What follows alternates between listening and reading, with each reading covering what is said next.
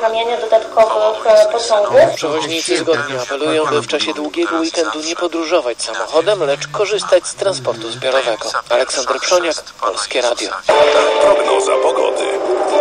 Piątek pochmurny z opadami deszczu, głównie na północy. Po południu wysoko w Tatrach synoptycy prognozują śnieg. Temperatura maksymalna od 8 do 11 stopni, nad morzem nieco cieplej do 13 stopni. Teraz to wszystko, kolejny serwis informacyjny punktualnie o 13. Zapraszam.